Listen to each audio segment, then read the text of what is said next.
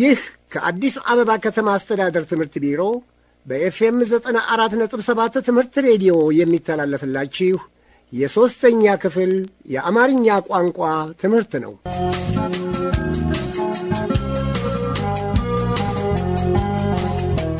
የትምህርቱ አዘጋጅ የሬዲዮ ትምህርትና የአጠቃላይ አድማጮች ፕሮግራም ዝግጅት ንዑስ የሥራ ሂደት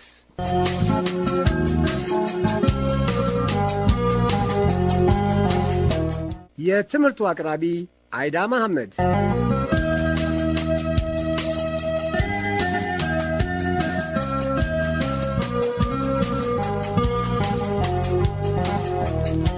እንደምን አሉ መምህር? እንደምን አላችሁ ተማሪዎች? ተማሪዎች ያለፈው ሳምንት ትምህርታችሁን ታስታውሳላችሁ? እስኪ የምታስታውሱትን እጃችሁን እያወጣችሁ ተናገሩ። እባኮ መምህር የተማሪዎችን መልሶች ይቀበሏቸው።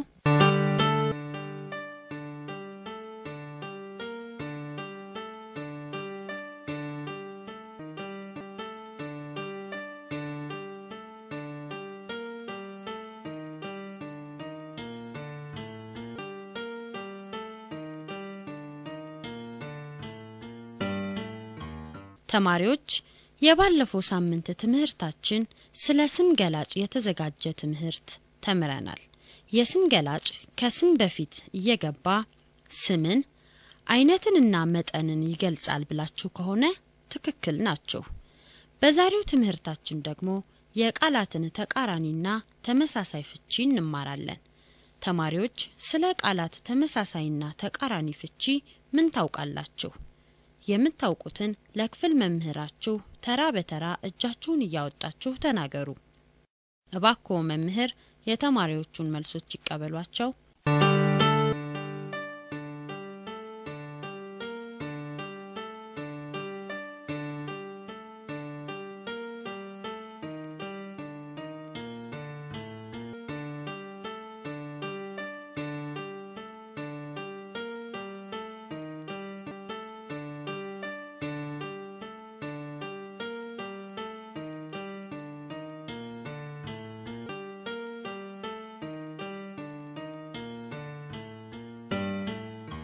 ተማሪዎች መልሳችሁን ለመምህራችሁ ተናገራችሁ።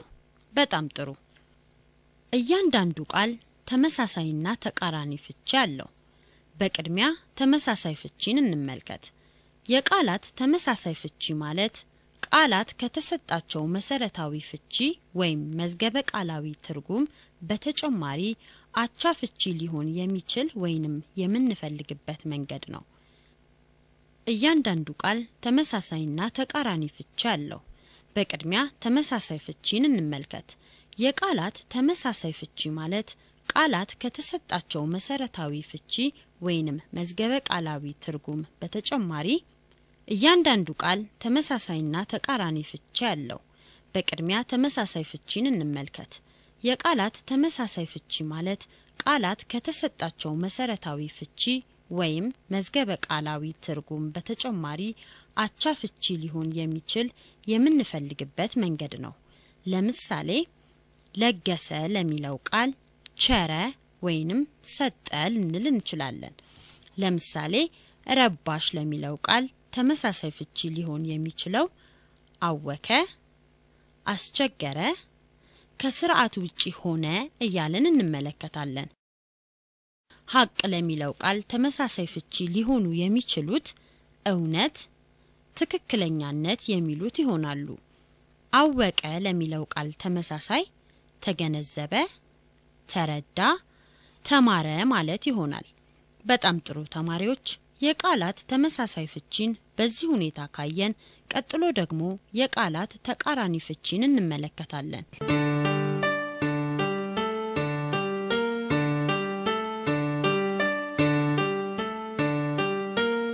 ተማሪዎች የቃላት ተቃራኒ ፍቺ ማለት ምን ማለት ነው? መልሳችሁን እጃችሁን በማውጣት ለክፍል መምህራችሁ ተናገሩ።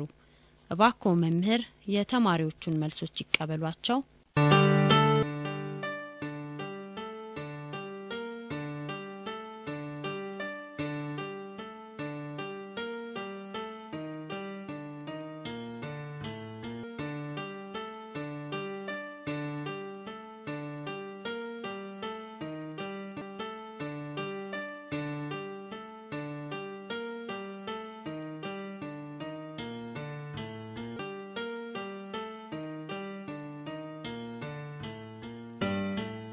ስለ ቃላት ተቃራኒ ፍቺ ለመምህራችሁ ተናገራችሁ?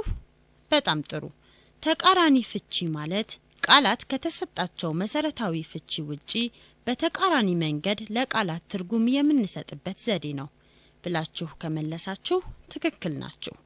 የቃላት ተቃራኒ ፍቺ የሚባሉት ለምሳሌ አጭር ለሚለው ቃል ተቃራኒ ሊሆን የሚችለው ቃል ረጅም የሚለው ይሆናል። ትንሽ ለሚለው ቃል ተቃራኒው ትልቅ ይሆናል።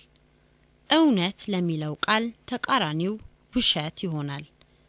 ጠንካራ ለሚለው ቃል ተቃራኒ ሆኖ የሚያገለግለው ደካማ የሚለው ቃል ነው። በጣም ጥሩ። ቀጥሎ ደግሞ የተወሰኑ ቃላት ፍቻቸውንና ተቃራኒያቸውን ቀጥሎ ለምነግራችሁ ተመሳሳይ ቃላት ፍቺ ትሰጣላችሁ።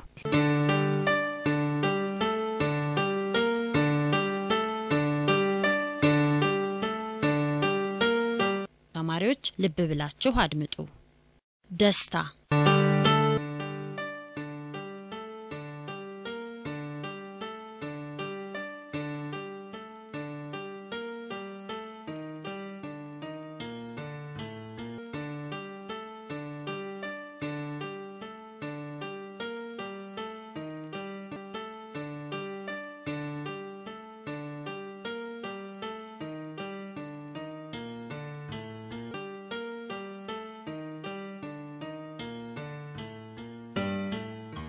መዝናናት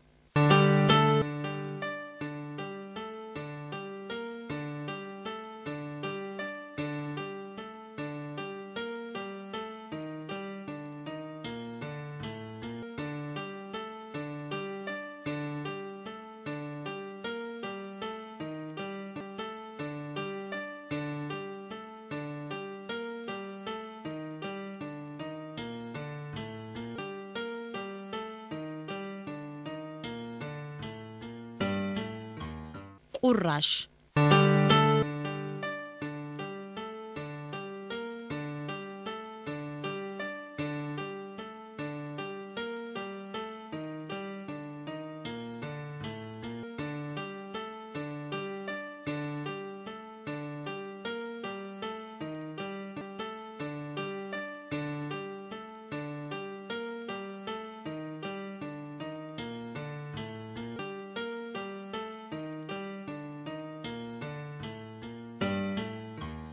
በጣም ጥሩ ተማሪዎች፣ የቃላቱን ፍቺ ተናገራችሁ።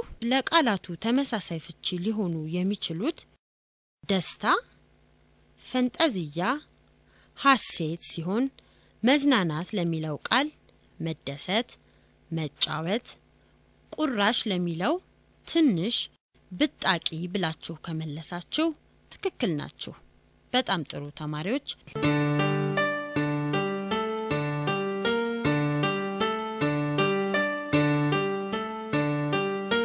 በመቀጠል ደግሞ ለተከታዮቹ ቃላት ተቃራኒ ፍቺ ትናገራላችሁ።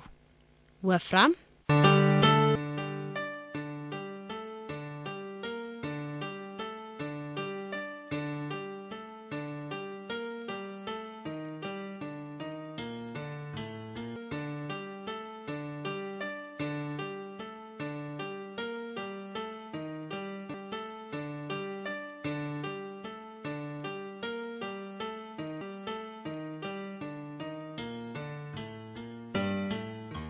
Kubes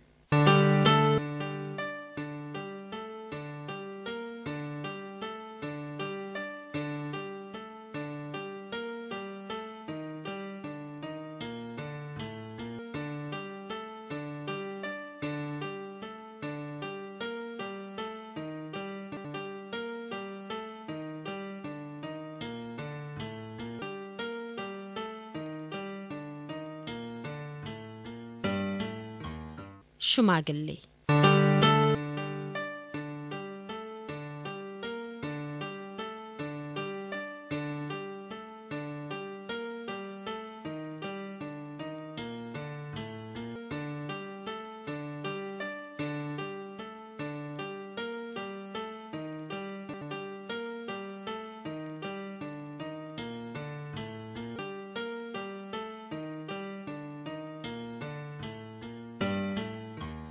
አመሰግናለሁ መምህር።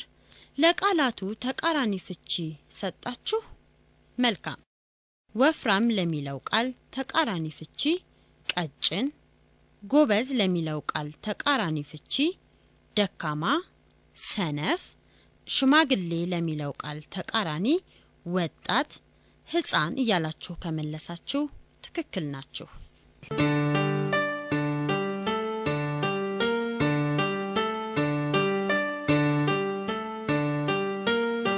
ተማሪዎች የዕለቱን ትምህርት ከማጠናቀቃችን በፊት ላስታውሳችሁ። እያንዳንዱ ቃል ተቃራኒና ተመሳሳይ ፍቺ ያለው መሆኑን፣ የቃላት ተመሳሳይ ፍቺ ማለት ከላይ እንደተጠቀሰው ቃላት በመሰረታዊነት ከሚያገኙት ፍቺ በተጨማሪ ፍቺ የሚያገኙበት መንገድ መሆኑንና የቃላት ተቃራኒ ፍቺ ማለት ደግሞ በመሰረታዊ ትርጉም ከሚያገኙ ፍቺ ውጪ በተቃራኒው መንገድ የሚያገኟቸው የተለየ ፍቺ ማለት እንደሆነ ተምራችኋል። እንግዲህ ከዚህ በኋላ የምታገኟቸው ቃላት በአጠቃቀማቸው ከሚሰጡት ፍቺ አገልግሎት አንጻር በመነሳት ተቃራኒ ወይም ተመሳሳይ ናቸው ማለት ትችላላችሁ።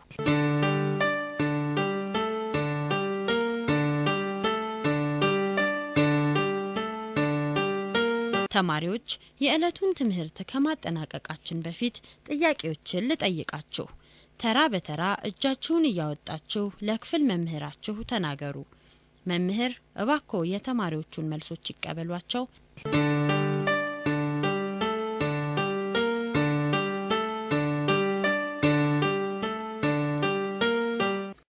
አንደኛ ተቃራኒ ቃል ማለት ምን ማለት ነው? ተቃራኒ ቃል ማለት ምን ማለት ነው?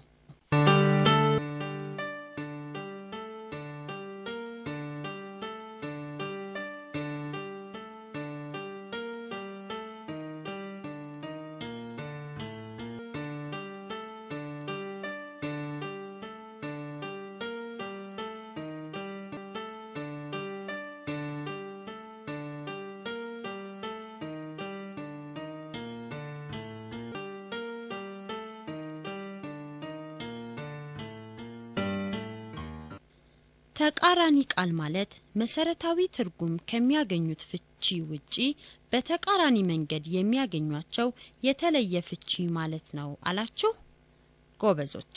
ሁለተኛ ሰነፈ ለሚለው ቃል ተቃራኒው የትኛው ነው? ሀ ረበሸ፣ ለ ጎበዘ። ሰነፈ ለሚለው ቃል ተቃራኒው የትኛው ነው? ሀ ረበሸ፣ ለ ጎበዘ።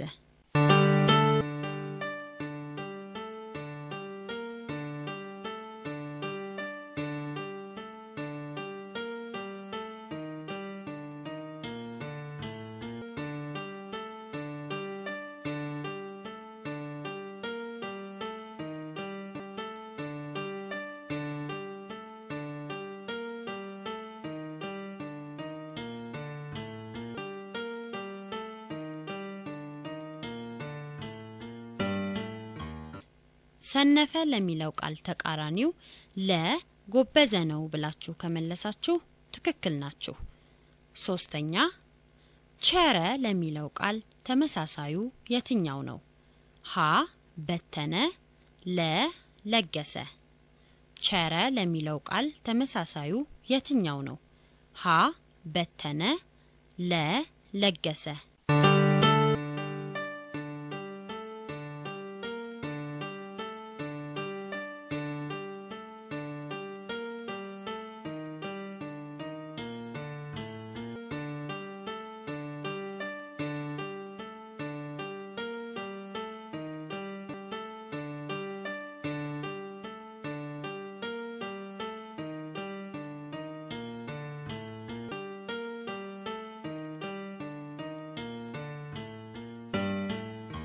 ቸረ ለሚለው ቃል ተመሳሳዩ ለ ለገሰ ነው ብላችሁ ከመለሳችሁ ትክክል ናችሁ።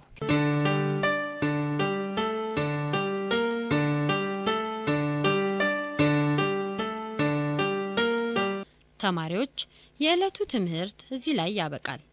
በቀጣዩ ሳምንት ጎጂ ልማድ በሚል ርዕስ የተዘጋጀ ትምህርት እንማራለን። እስከዚያው ደህና ሁኑ ተማሪዎች፣ ደህና ሁኑ መምህር፣ ደህና ሁኑ።